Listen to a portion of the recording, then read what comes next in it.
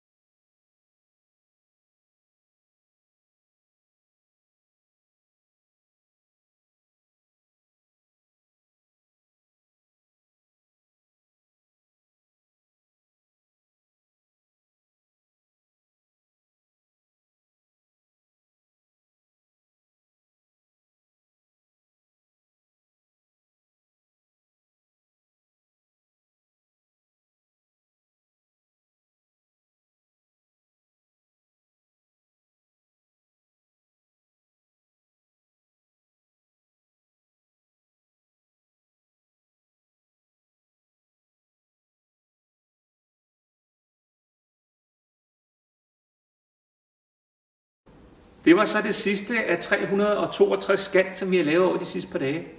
Nu ligger der så lidt hjemmearbejde, hvor vi skal hjem og redigere det, og vi skal lægge nogle menuer på, så man kan hoppe rundt imellem lokalerne her.